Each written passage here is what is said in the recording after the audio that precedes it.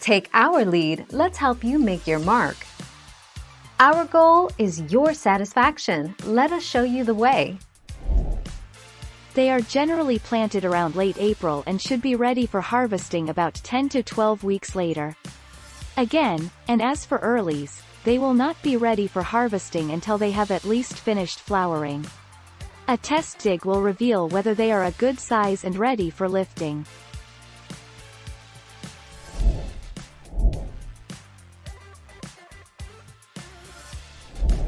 Let's help you make your mark. Answer. Don't worry if your potato plants aren't producing blooms. These greenish parts of the potato must be cut away before the potato is consumed.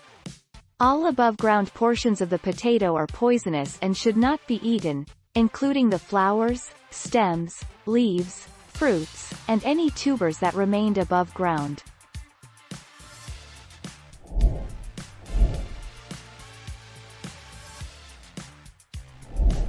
Let's help you make your mark. Answer. Don't worry if your potato plants aren't producing blooms. The flowers are not needed in order for the plants to grow delicious tubers underground. They contain a toxic level of solanine, a poisonous alkaloid that forms when parts of the potato plant are exposed to sunlight. Thank you for watching. Please subscribe and hit the bell notification.